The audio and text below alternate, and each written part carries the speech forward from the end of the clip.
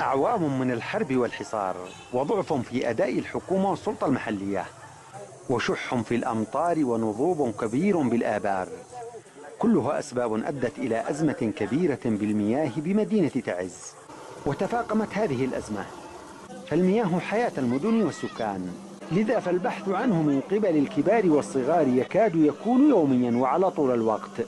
من أمام الجوامع والآبار وخزانات السبيل التي يوفرها رجال الخير والمنظمات والجمعيات. عندنا من السنة للسنة مرة. بس. وما يطلعش. يعني تحت عندهم ذريعة المواصل مكسرة أن المواصل ما ما حصلحها وهكذا. زف الماء ب 20000 15000 أصحاب الولايات ما رضوش ينقصوا. طيب الحلا يعني وإحنا مبهذلين مشردين نازحين. من الحديدة إلى هنا.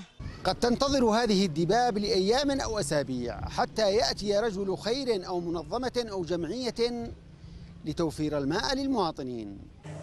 مؤسسة المياه والصرف الصحي متهمة من قبل المواطنين بالتقصير بإيصال هذه الخدمة رغم ما يصل لها من إمكانات ومساعدات من قبل الداعمين بحسب قولهم. بينما يقول العاملين بالمؤسسة بأن هذه المدينة تحتاج باليوم الواحد لما يقرب من أربعين ألف متر مكعب. وفي الواقع تنتج الآبار المحلية 2500 متر مكعب فقط إضافة لمشاكل أخرى تتعرض لها المؤسسة.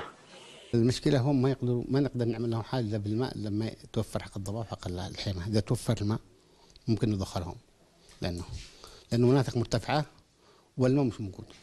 يعني عندما يتوفرنا ماء يعني نجمع داخل دارها وندخل المناطق التي نقدر ندخلهم يعني. آخر مرة دخلنا منطقه الروضة عند الروضة الشرقية والروضه الغربية عند الموشكين. والجهة بالجهات الغربية دخلنا المدينة المدينة القديمة الظاهرية الأشرفية تحت قلعة القاهرة. هذا كمان شبه الجمهوري طبعا. الماء اللي موجود عندنا دخلنا المناطق يعني. الآن لنا خمسة أشهر بدون رواتب. طبعا طالبنا وخرجنا بعدة مسيرات و ومجموعة من الموظفين كانوا وقفوا العمل لهذا السبب لأنه ما تقدرش تلزم الموظفين بالوضع اللي إحنا فيه إنه يشتغل حتى الراتب مش موجود يعني.